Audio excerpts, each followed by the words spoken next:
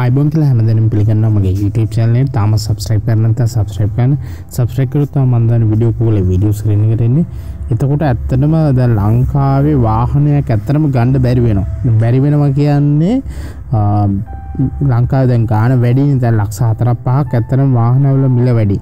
මේක ඇත්තටම තව අඩුවීමක් බලාපොරොත්තු වෙන්න බැරි වෙයි. වැඩිවීමක් මිසක්. මොකද ලංකාවේ දැන් කියලා තියෙන විදියට දැන් වසර දෙක හමාරකට ප්‍රමාණවත් වාහන ලංකාවේ තොග දැනටම ගෙනල්ලා තියෙන ඒක නිසා ඒක රටට අනවශ්‍ය බාණ්ඩයක් විදිට තමයි ද කාර් ඒ වගේ මෝටර් රත තියෙන් ඉද ඒව ගෙන්න්න එක දැන් අතර කරලා තියෙන හොඳරම එතකුරු ගත්තොත් ද ලංකාවට දෙදස් දහනමේ අවුරුද්ධ ඩොලර් මිලියන දාහක විතර මේ කාර් ගෙනල්ලා තියෙනවා.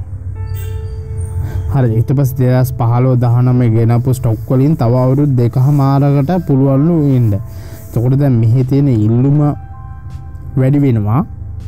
කාරාර තියෙන ගාන ස්ටොක්කේ තියෙන අනිවාරෙන් කාර්මිල්ල ඉහල යන එක යනවාමයි. ඒකෙන් දැන් සමහර ඇලියුන් වර්ග තිබ්බා ලක්ෂ හතලියයි. මේ ද බාස අතර පාකට කලින් දැන් ලක්ෂ හතලිස් හය වෙලා තියෙන තවටික කාලයක් ඇද ඕක ලක්ෂ පණහ පනස් දෙක විතර අනිවාරෙන් වෙනවා. හරි මේක මේගොල්ලො කියන්නේ දැන් මේ ඩැන් ඩොලර් බිලියන එකයි දශම එකක් විතර ගිහිල්ලා තියෙනවා ඉට පස්ස ඔල තෙල් ස්පයා පාට් සර්විස් ෆීස් රෝයල්ට ඕවා ගෙවන්ඩ එපයි.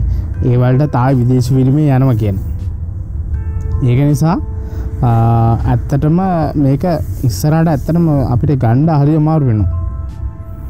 මේ අඩුවෙන් නෑ බජෙට් පොලින් ඕ මොනහරි කරලා ටැක්ස් අඩු කරලා කරත් ලංකායි වැඩිවුණ දෙයක් අඩුව අඩු කරන්න ටිය කමාරු එකනිසා ගන්නේවා දැම්ම ගත්තත් කමක් නෑ. මොකද තව වැඩිවීමක් මිසක් අඩුවීමක් නම් ඇතරම් බලාපොරොත්තුවෙන්ට බෑ මේ යන විදිහට කොද ඒක අනවශ්‍ය බාණ්ඩයක් විදියට දැන් තීරණය කරලා ඉවරයි.